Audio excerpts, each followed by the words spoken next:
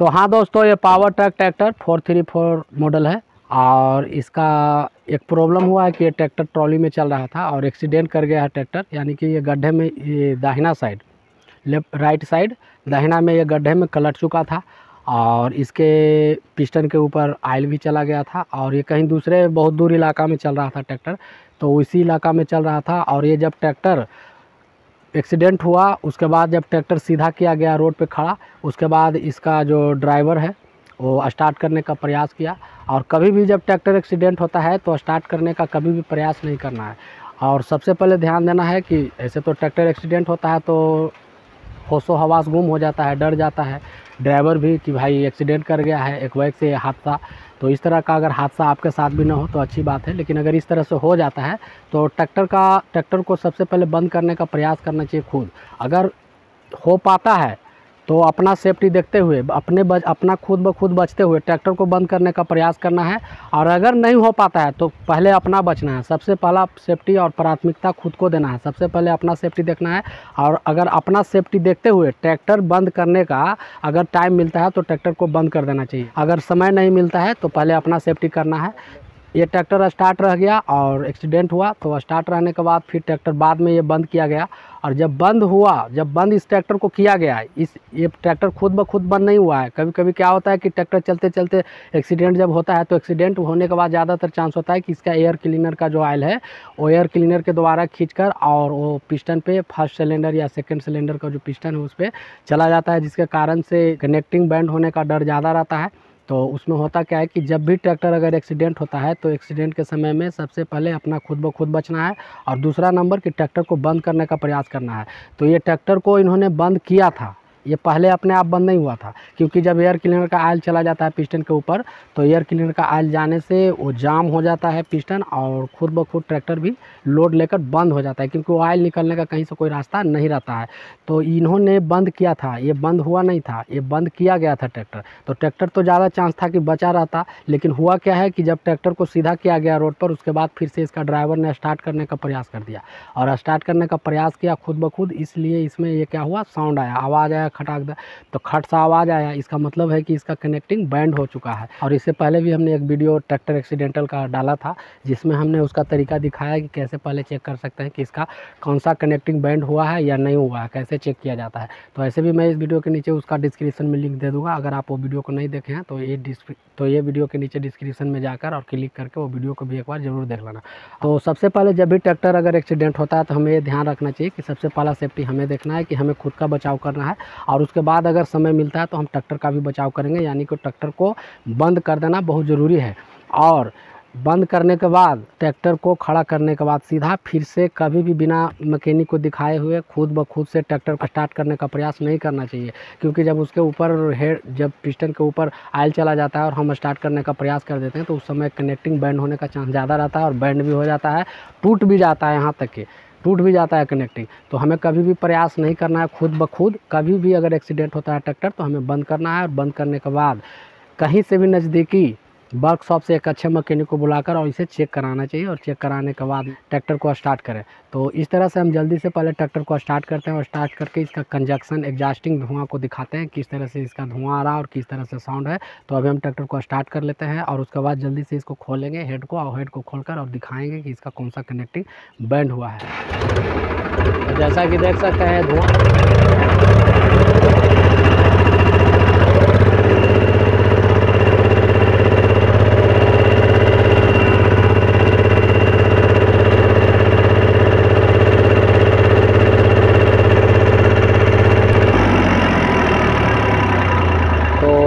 उजला सफ़ेद धुआँ आ रहा है इसके साइलेंसर से।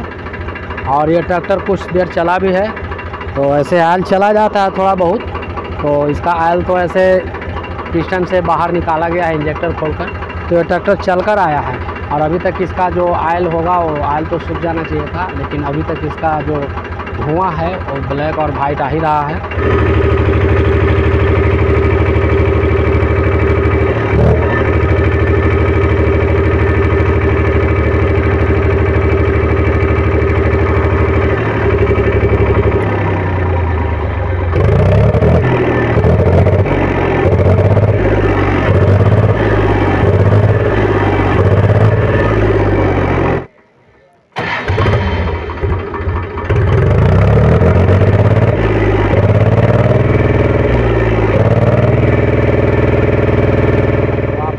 किस तरह से इसका साइलेंसर से धुआँ आ रहा है ब्लैक और वाइट दोनों मिक्स ज़्यादा वाइट आ रहा है उजला धुआँ। तो अभी हम इसके हेड को खोलेंगे और हेड को खोलने के बाद से हम दिखाते हैं कि इसका कौन सा कनेक्टिंग बैंड हुआ तो तब तक के लिए वीडियो में हेड को हमने डाउन कर लिया है हेड एसेंबल को खोलकर और हटा लिया है ब्लॉक से इंजन ब्लॉक से। और ये जैसा कि देख सकते हैं। और इसके पहले हमने इसका इंजन का साउंड और इसका जो एग्जास्टिंग था वो भी दिखाया था कि किस तरह से उसका उजला धुआँ आ रहा था साइलेंसर द्वारा। और इधर संप भी खोल लिए हैं। इंजन चैम्बर तो ये देख सकते हैं, पूरी तरह से ये भी खुला हुआ है। और अभी हम इंजन को घड़ी की सीधी दिशा में घुमाएँगे और दिखाएँगे कौन सा इसका सिलेंडर का कनेक्टिंग बैंड हुआ है। तो इस तरह से हम इंजन को घुमाते जाएँगे। आराम आराम से, ये देख सकते हैं। तो अभी हम इंजन को घुमाएँगे खड़ी घड़ी की सीधी दिशा में, इस तरह से। और आराम आराम से घुमाएँगे और देखना है कि ये कौन सा पिस्टन जैसे कि ये तीसरा नंबर का फ्लाईविल साइड का, जो ये पिस्टन है, तीन नंबर सिलेंडर का, ये अभी टॉप पे आ रहा है। तो कितना टॉप पे आता है, ये देखना है कि टॉप के पहले चला जाता है। अगर ये टॉप के पहले रिटर्निंग चला जाता है तो इसका मतलब है कि इसका कनेक्टिंग बैंड हुआ है। तो अभी और हम घुमाएँगे, हल्के हल्के, धीरे धीरे घुमाएँगे। देखिए यहाँ से, इस जगह से रिटर्न हो रहा है। यहाँ से पिस्टन रिटर्न हो रहा और हम इंजन को उल्टा घुमाएँगे।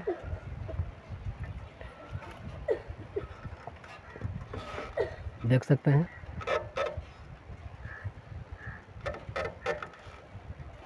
अब हम सीधा घुमाएँगे और ये ध्यान देना है कि ये देखिए कहाँ से रिटर्न होता है। ये रिटर्न होने लगा। तो इसी पाथ से ये रिटर्न हो जाता है, इसी जगह से। तो ये जैसा कि देख सकते हैं, अभी ये बहुत दूरी पे है। अभी बहुत दूरी पे है इसका पिस्टन और इसका पिस्टन ऊपर आना चाहिए। लेकिन ये पिस्टन, ये तीन नंबर सिलेंडर का, इसी जगह से, इसी पोजीशन से ये रिटर्न हो जाता है, नीचे जाने लगता है। इसके बाद ये ऊपर नहीं आ रहा और बहुत दूरी पे है। तो इसका मतलब है कि इसका कनेक्टिंग बैंड हुआ है तीन नंबर का और ये बैंड होने का लक्षण है, पहचान है और इसका कनेक्टिंग बैंड हुआ है। इसीलिए इसका ये पिस्टन यहीं से कुछ दूरी पहले से ही रिटर्न हो जा रहा है। लेकिन और अगर हम इंजन को घुमाएँगे तो इसका पूरा जो टीडीसी पोजीशन आता है वो करीब करीब ये लाइनर सिलेंडर के इस जगह तक, ये कटिंग रहता है, इस जगह तक यहाँ तक आना चाहिए। लेकिन ये इस जगह से रिटर्न हो जा रहा है। तो फिर से हम इंजन को घड़ी की सीधी दिशा में घुमाएँगे। धीरे धीरे देखें, ये रिटर्न जाना शुरू हो चुका है, और ये रिटर्न जाने लगा। और ये देखिए ये पिस्टन, दूसरा नंबर सिलेंडर का। ये पूरी तरह से टीडीसी पे आ चुका है। तो ये बिल्कुल एकदम लेवल में है लाइनर कोर में, जो यहाँ पे कट रहता है। तो इसका मतलब है ये दो नंबर सिलेंडर का पिस्टन है और ये पूरी तरह से टॉप हो रहा है। तो इसका कनेक्टिंग बचा हुआ है, इसका कनेक्टिंग बैंड नहीं हुआ है। और तीसरा सिलेंडर को घुमा कर चेक करेंगे तो ये देखिए अभी रिटर्न जाएगा। तो ये पूरी टॉप पर आने के बाद रिटर्न जाना चाहिए और इसे ये फ़र्स्ट सिलेंडर का। तो ये बस देख सकते हैं। ये भी बिल्कुल टीडीसी पोजीशन में आ गया है। और ये भी बिल्कुल लाइनर के ये जो कोरी है कटिंग का भाग तो यहाँ तक पिस्टन आ चुका है। तो इसका मतलब है ये फ़र्स्ट सिलेंडर का और सेकेंड सिलेंडर का कनेक्टिंग बचा हुआ है। और ये थर्ड नंबर का सिलेंडर का इसका कनेक्टिंग पूरी तरह से बैंड हुआ है। तो एक बार फिर से हम घुमा कर इंजन को चेक कराएँगे। तो इसको आप ध्यान से देखना आप लोग। धीरे धीरे घुमाएँगे।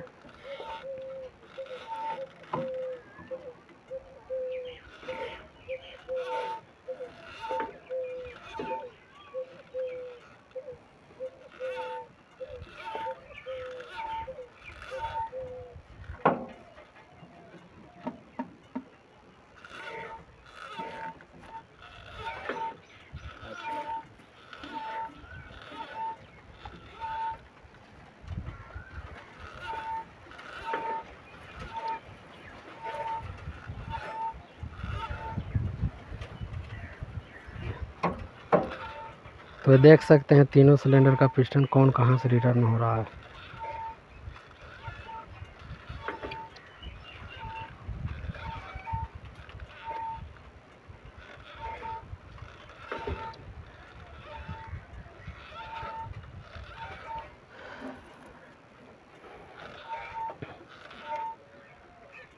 तो ये दोनों सिलेंडर का पिस्टन बिल्कुल टीडीसी पे आने के बाद रिटर्न हो रहा है। और ये तीसरा नंबर का जो पिस्टन है, इसी पॉइंट से ये रिटर्न चला जा रहा है, यानी कि पूरी पूरी टॉप टीडीसी पोजीशन पे इसका पिस्टन नहीं आ रहा, तीसरा नंबर सिलेंडर का तो इसका कनेक्टिंग बैंड है। और अभी आपने देखा, ये दोनों सिलेंडर का पिस्टन पूरी तरह से टीडीसी पोजीशन में आ रहा है। और बाकी इसका जो हमने सम्प खोला है तो इसमें ये लाइनर सिलेंडर का यह टूटा हुआ टुकड़ा मिला है, जो कि ज़्यादा बैंड हुआ है, तीसरा नंबर सिलेंडर का कनेक्टिंग तो ये तीसरा नंबर सिलेंडर का लाइनर सिलेंडर का ये बॉडी भी टूट चुका है। ये सब में पड़ा हुआ था ये टुकड़ा तो ये लाइनर सिलेंडर का टुकड़ा है। और इसके बाद एक ये भी टुकड़ा है। कई भाग में से, कई भाग में इसका लाइनर क्रेक होकर टूटा है। तो जब भी अगर ट्रैक्टर एक्सीडेंट होता है तो सबसे पहले नज़दीकी वर्कशॉप से मकैनिक को बुलाकर और एक बार चेक करा लेना चाहिए। इस तरह का गलती या लापरवाही कभी नहीं करना चाहिए। नहीं तो इससे भी ज़्यादा नुकसान हो सकता है। क्योंकि जब कनेक्टिंग कभी कभी ऐसा भी होता है कि बैंड होकर रह गया इसका, लेकिन कभी कभी कनेक्टिंग टूट जाता है, बिल्कुल क्रैक हो जाता है, अलग हो जाता है दो भाग में। ऊपर का पिस्टन का पिन में अलग लगा रहता है और नीचे कनेक्टिंग बैरिंग में अलग जुड़ा हुआ रहता है, यानी एक ही कनेक्टिंग दो भाग में हो जाता है और इंजन बाकी का जो सिलेंडर है वो स्टार्टिंग पोजीशन रहता है और स्टार्ट हो जाता है, जिसके कारण से उसका कनेक्टिंग घूमकर इंजन के बॉडी ब्लॉक को भी फाड़ सकता है बॉडी ब्लॉक में भी छेद कर सकता है डैमेज कर सकता है हॉल कर सकता है। तो इस तरह से कभी भी अगर एक्सीडेंट हो, ज़्यादा मात्रा में एक्सीडेंट हो या कम मात्रा में ट्रैक्टर एक्सीडेंट हो एक्सीडेंट अगर होता है तो सबसे पहले नज़दीकी वर्कशॉप मकैनिक से एक बार चेक करा लें और चेक कराने के बाद ही उसे स्टार्ट कराएँ ट्रैक्टर को। और ऐसे बिल्कुल अपने मर्ज़ी से स्टार्ट करने का प्रयास नहीं करना चाहिए। और अगर अपना मर्ज़ी से स्टार्ट करने का प्रयास करेंगे तो यही ट्रैक्टर में ये हाल हुआ था कि इन्होंने ट्रैक्टर को बिल्कुल खड़ा किया। और ट्रैक्टर को ये बाई चांस था कि इन्होंने ट्रैक्टर को जब एक्सीडेंट किया था तो ये खुद बंद किए थे।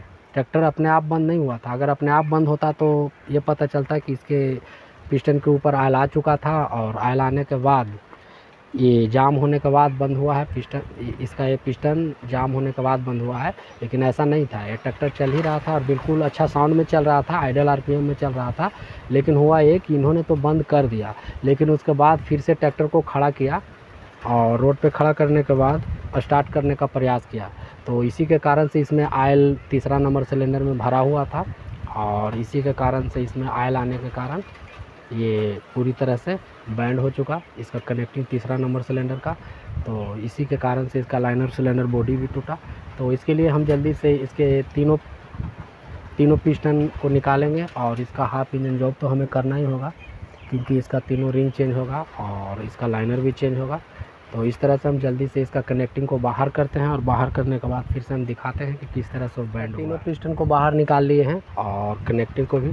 तो अभी दिखाएँगे इसका जो तीन नंबर का जो पिस्टन का जो टॉप अप पूरा टीडीसी पोजीशन में नहीं आ रहा था तो तीन नंबर का इसका कनेक्टिंग बैंड है। तो ये देख सकते हैं इसका तीनों पिस्टन और कनेक्टिंग तो ये देख सकते हैं, ये वाला कनेक्टिंग जो कि तीसरा नंबर सिलेंडर का जो कनेक्टिंग था, वो पूरी तरह से यही था। और ये बैंड हो चुका था पूरी तरह से, ये दिखाई भी दे रहा है।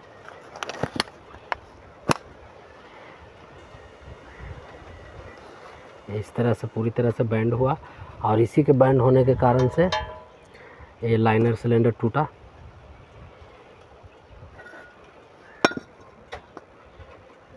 ये देख सकते हैं।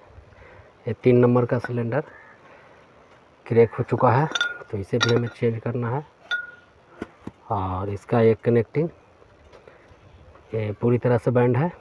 ये वीडियो में भी दिखाई दे रहा होगा पूरी तरह से क्लीन कि ये बिल्कुल बैंड है। तो उसका एक कनेक्टिंग को चेंज करना है। और ये एक लाइनर लाइनर सिलेंडर और एक ये कनेक्टिंग और बाकी इसका जो दो कनेक्टिंग है, वो दोनों ठीक है। बिल्कुल स्टेक है, सीधा है और इसमें कोई, इसमें किसी तरह का आयल इसके पिस्टन के ऊपर नहीं गया था। बिल्कुल सूखा हुआ था पिस्टन तो ये बचा हुआ है दो कनेक्टिंग तो बाकी के हमें इसका कनेक्टिंग बैरिंग और ये स्मॉल बैरिंग कनेक्टिंग का बोस, ये हमें चेंज करना है। एंड बैरिंग और स्मॉल बैरिंग ये दोनों को चेंज करेंगे रिंग चेंज करेंगे, ये वाला कनेक्टिंग चेंज करेंगे और ये liner cylinder liner cylinder seal और उसके बाद और ये हेड गैस किट तो ये सब सारे पार्ट्सों को हमें चेंज करना है मुख्य रूप से। तो इसका पार्ट्स को हमें स्कॉट कंपनी का ओरिजिनल पार्ट्स मंगवाना होगा। तो हम इसका जब पार्ट्स मंगवाएँगे तो पार्ट्स को दिखाएँगे। तो ऐसे इसका फुल इंजन जॉब और हाफ़ इंजन जॉब का भी वीडियो डाला हुआ है इसी चैनल पर। अगर अभी तक आपने इसका वीडियो नहीं देखा है तो वीडियो देख सकते हैं। और ऐसे भी मैं इस वीडियो के नीचे डिस्क्रिप्शन में उसका लिंक दे दूँगा, उस लिंक पर भी जाकर आप क्लिक करके वो वीडियो को एक बार ज़रूर देख लेना। तो इसमें सेटिंग का वीडियो नहीं दिखाऊँगा क्योंकि पहले से ही हमने इसका इंजन का फुल जॉब और हाफ़ जॉब का भी वीडियो डाल रखा है इस चैनल पर।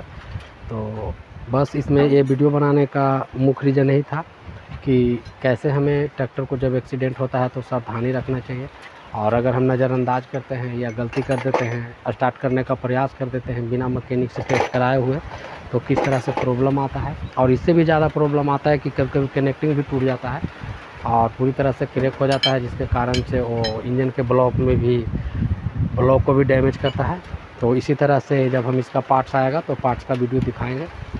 तो तब तक के लिए वीडियो में बने रहें। और चैनल पर नए हैं या अभी तक आपने चैनल को सब्सक्राइब नहीं किया तो एक सब्सक्राइब लाइक और शेयर ज़रूर करें ताकि हर किसान भाइयों को भी इसकी नॉलेज और जानकारी मिले। तो जल्दी से इसका पार्ट्स मंगवाते हैं और उसके बाद पार्ट्स का तो इस इंजन का जो पार्ट्स डैमेज हुआ था कनेक्टिंग बेड हुआ था तीन नंबर का और लाइनर सिलेंडर क्रैक हुआ था, टूटा था, जो कि हमने पहले वीडियो में दिखाया था।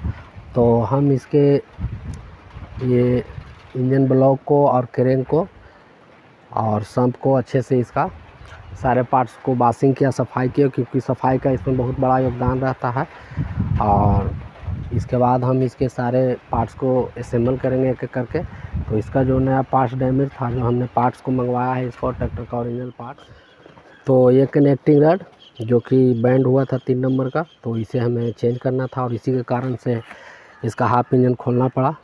एक्सीडेंट होने के बाद तीसरा नंबर सिलेंडर में आयल पिस्टन के ऊपर आया था और उसी के कारण से ये स्टार्ट करने के प्रयास से ये कनेक्टिंग बैंड हुआ था। तो देख सकते हैं rod end cap assembly connecting और इसका पार्ट नंबर ये डी दस छत्तीस ज़ीरो नौ सौ तीस है, जो कि इसमें चौहत्तर साठ भी आता है तो चौहत्तर साठ का उसमें पार्ट नंबर का कनेक्टिंग उपलब्ध नहीं था मार्केट में तो हमें ये लगाना पड़ा तो ये कनेक्टिंग रड और उसके बाद ये रिंग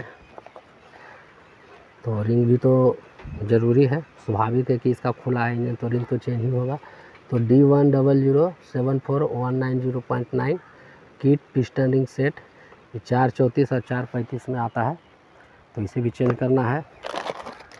और इसका connecting bearing big end bearing तो ये देख सकते हैं D one triple zero nine six seven zero point nine bearing connecting rod और इसका एम आर पी है सात सौ आठ रुपीज़ और ये रिंग का एम आर पी था सोलह सौ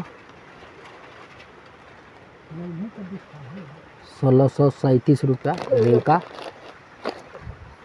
और ये कनेक्टिंग का देख सकते हैं प्राइस तेरह सौ चौहत्तर रुपया। और ये तीसरा लाइनर सिलेंडर जो कि क्रैक हुआ था, टूटा हुआ था तो इसे भी हमें चेंज करना था। कनेक्टिंग बैंड होने के कारण ज़्यादा बैंड हुआ था, इसीलिए इसका ये लाइनर कोरी भी टूटा था। तो इसका पार्ट नंबर है डी वन, ट्रिपल ज़ीरो, बानवे, बीस, लाइनर सिलेंडर ई थ्री। तो ये लाइनर को भी हमें चेंज ही करना है। और उसके बाद ये हेड गैस किट सतासी, सत्तर है। ये किट का है, हेड गैस किट तो इसीलिए इसका पार्ट नंबर नहीं है। तो इसे भी चेंज करना है और इसका सतासी सत्तर पार्ट नंबर है। और इसका ये फ़िल्टर, हाइड्रोलिक्स फ़िल्टर, ये भी चेंज होगा। क्योंकि सर्विस भी करना है हमें पूरा, इसका आयल भी चेंज करना है। तो ये आयल फ़िल्टर, ये भी चेंज करना है। और इसका आयल भी, साढ़े सात लीटर का वो भी चेंज करना है। और ये डी एक सौ एक सौ चालीस है। ये लाइनर सील जो कि इसका पार्ट नंबर है D one double zero one double zero four zero nine D एक सौ एक सौ चालीस तो ये सब सारा पार्ट्स को हमें चेंज करना था और बाकी के सारे पार्ट्स को अच्छे से बासिंग कर लिए हैं और इसे सारे, इसके सारे पार्ट्स को अब हम असेंबल करेंगे liner cylinder connecting rod piston ring और इसे जल्दी से असेंबल करने के बाद हम स्टार्ट करेंगे इंजन के और इसका वीडियो पहले से इस चैनल पर अपलोड है। अगर अभी तक आपने नहीं देखा तो वीडियो को भी एक बार ज़रूर देख लेना।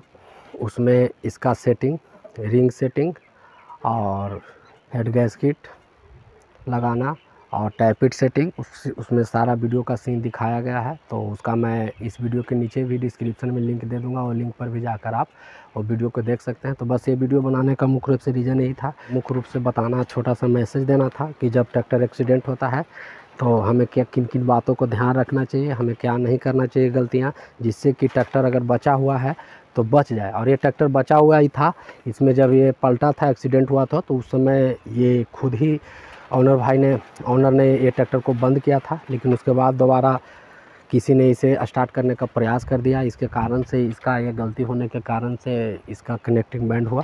तो इस तरह से गलती नहीं करना है हमें। जब भी ट्रैक्टर एक्सीडेंट हो तो सबसे पहले ट्रैक्टर को सीधा करके और उसके बाद नज़दीकी वर्कशॉप से अच्छे मकैनिक को लाकर और उसके, उससे चेक कराकर और उसके सलाह के अनुकूल ही हमें ट्रैक्टर को स्टार्ट करना है।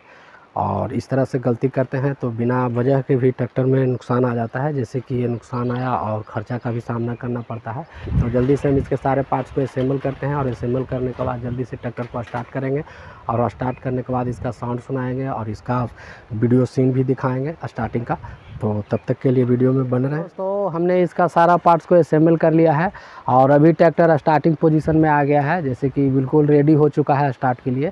और आप कहेंगे कि इसमें आपने कोई सेटिंग नहीं दिखाया रिंग सेटिंग नहीं दिखाया टैपेट सेटिंग कैसे किया, और इसका लाइनर असेंबल कैसे किया, और इसका कनेक्टिंग रड को कैसे सेट किया, इसका टॉर्क कितना दिया इसका हेड का टॉर्क कितना होता है, इसका सी, इसका कनेक्टिंग का टॉर्क कितना होता है तो ये सारा वीडियो, बहुत सारा वीडियो सेटिंग का पड़ा हुआ है इस चैनल पर पहले से ही। अगर आपने अभी तक वो वीडियो को नहीं देखा है तो एक बार देख लेना और ऐसे भी मैं इस वीडियो के नीचे डिस्क्रिप्शन में उसका लिंक दे दूँगा, उस लिंक पर भी आप जाकर वीडियो देख सकते हैं। तो इसमें बस हमें एक केवल छोटा सा मैसेज देना था आप लोगों को, किसान भाइयों को, कि जब ट्रैक्टर एक्सीडेंट होता है तो हमें क्या करना चाहिए? ट्रैक्टर एक्सीडेंट हो जाता है तो उसमें क्या होता है कि बहुत ज़्यादा भय हो जाता है, डर हो जाता है लोगों को, जिसके साथ ऐसा अगर ये एक्सीडेंट होता है, ऐसा अगर हादसा होता है तो सबसे पहले तो डर जाते हैं, लेकिन डरना नहीं है। सबसे पहले अपना सेफ्टी रखना है।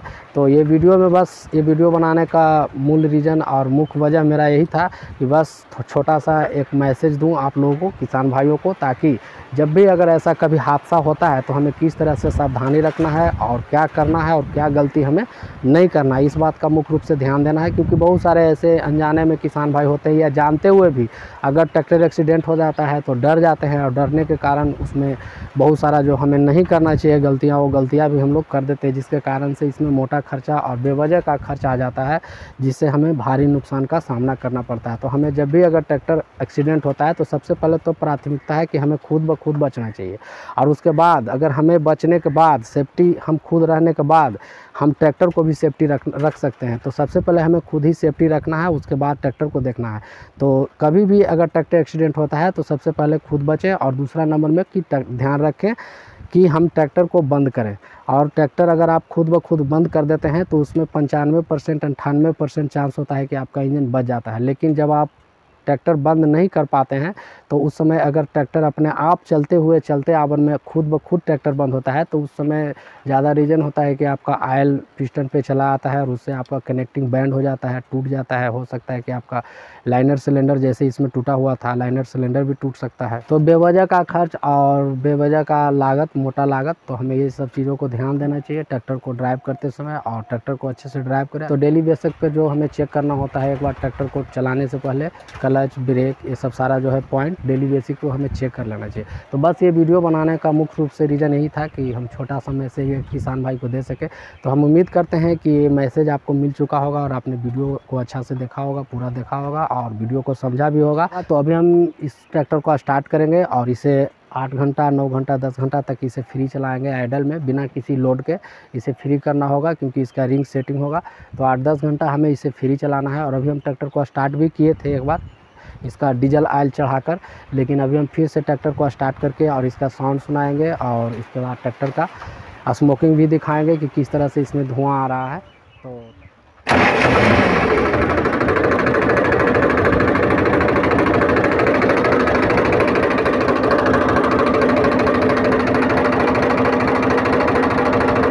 तो अभी हम इसे आठ दस घंटा इसे फ्री आइडल ड्रामा करेंगे ताकि इसका रिंग बिल्कुल अच्छे तरह से सेट हो जाए। वैसे तो ज़्यादा इसे चलाना नहीं है क्योंकि इसका फुल इंजन का जॉब हुआ नहीं है। तो आठ से दस घंटा, बहुत काफ़ी है, आठ दस घंटा चलाएँगे। और इसका देख सकते हैं।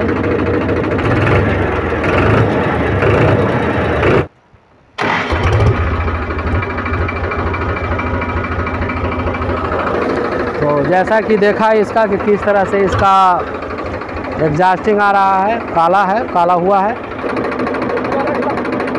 तो इस तरह से ट्रैक्टर से संबंधित मैकेनिकल वीडियो देखने के लिए और ये वीडियो के लिए एक लाइक सब्सक्राइब तो बनता ही है।